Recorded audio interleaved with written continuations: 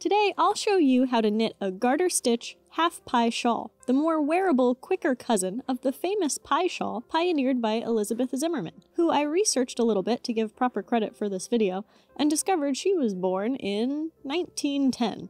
So, your girl doesn't have an Instagram, but she does have several amazing books still available on Amazon, and it just reminded me what a time honored and timeless tradition we have here with knitting. There's always more wisdom to learn from. Anywho, back to our half pi shawl. So the basics of the pi shawl are to cast on a small number of stitches, knit a small number of rows, then double that stitch count, double that row count, and repeat, doubling your stitch count and row count, until your shawl is as wide as you'd like. This half pi shawl is the same concept, except we will always double plus one our stitches. More on that in a minute. The beauty of the pi shawl is that the stitch increases get further and further apart as your shawl grows, so you wind up with these big bands of knitting that you can work really intricate lace patterns across and not have to worry about the stitch count changing. For my shawl, I wanted to do a straight garter stitch to give a blank canvas for you to work off of if you want to add your own lace pattern into the bigger sections. I'll link a few beautiful garter stitch lace patterns you can try out down below. Also, I had a little ulterior motive with this pattern because I had this ball of shawl in a cake from Lion Brand, and I wanted to see exactly how much shawl knits up from just one cake. So I knew I'd have to be flexible with my design in order to use up as much yarn as possible. Now, let's get started on our half pi shawl with a garter tab cast on. I'm starting out with straight needles and will change to longer circular needles as my stitch count grows. I'm going to start with a slip knot at the end of my yarn with a tiny little tail, so I can be sure I'm using up as much of this cake as possible. I'm going to knit on two more stitches by inserting my needle into that first stitch knitwise,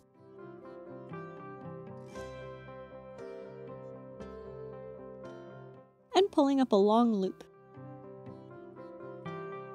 and placing it back on my left needle. Now you have two stitches on your needle, and you can knit into that stitch you just made. Pull up a long loop and place it on the left needle to cast on a total of three stitches.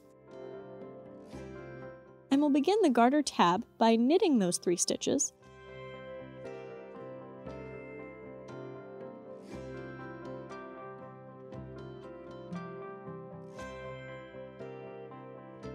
then knit another row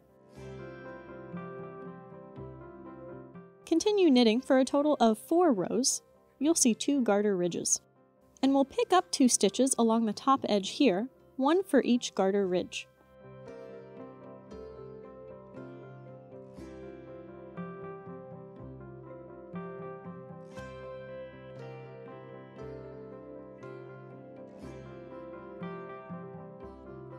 Then pick up a stitch in each of your three cast-on stitches.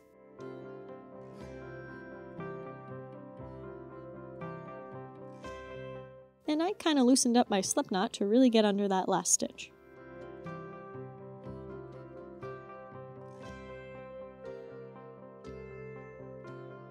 Now you'll have 8 stitches total, which account for a 3 stitch border on either side and 2 stitches in the middle. This will be important when we do our increases, but for now, knit one row.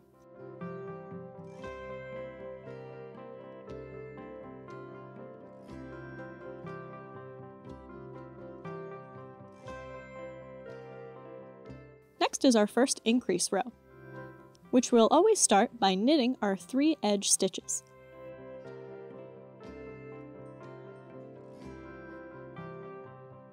Then, yarn over, knit one.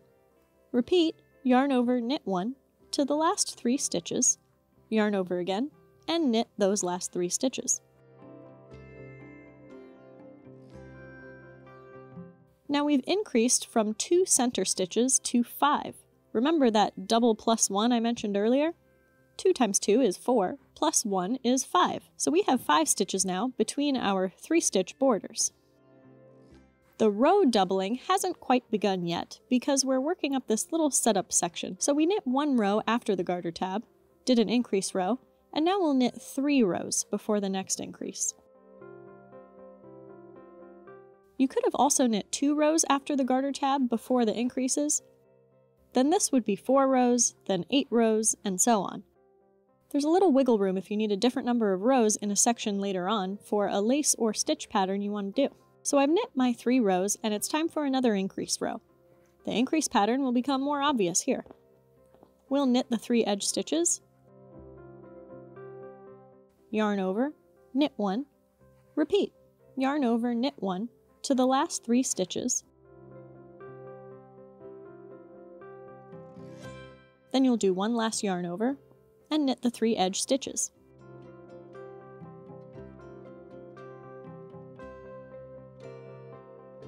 Those center 5 stitches have increased to 11, double the 5 plus 1. Now we'll also double the last row count. So we knit 3 rows last time, now we'll knit 6 rows.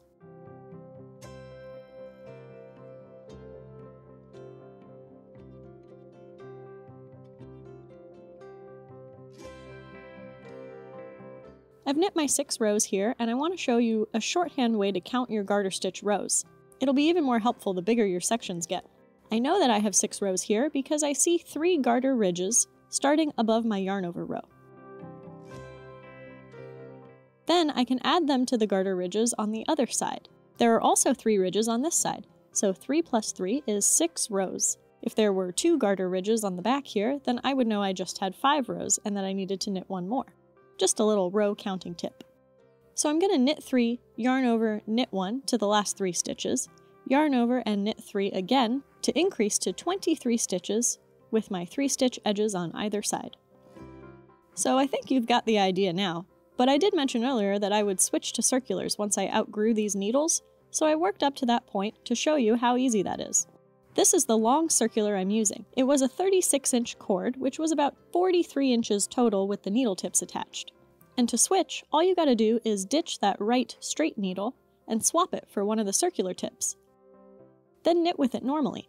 It doesn't matter which row you do this on, I'm doing it here on an increase row.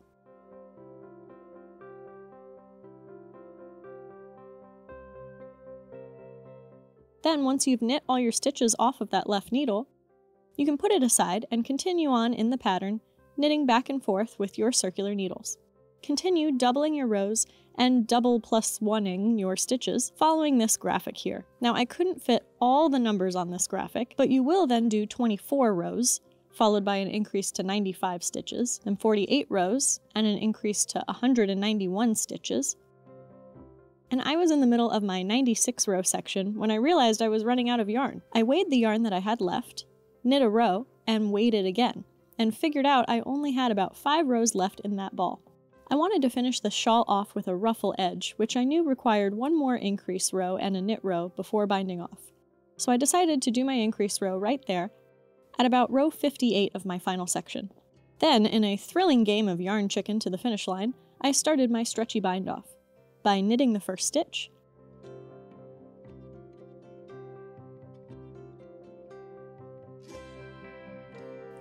knitting the next stitch, and inserting my left needle back through the front of those stitches,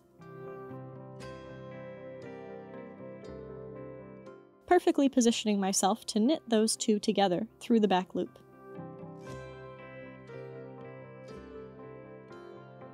Lots of tension on that working yarn makes it easier. Again, knit one, slip the left needle through, and knit two together through the back loop. This stretchy bind off is a great way to finish off shawls, especially ones with a ruffly edge. It really frees up the tension to let those ruffles loose. One last thing I wanted to mention is the top edge of your shawl will not be straight. This is just the nature of those pi shawl increases, so don't fret about it. And there you have it, a garter stitch half pi shawl blank canvas for you to add your own touches to, or knit as is for some very easy, relaxing TV knitting.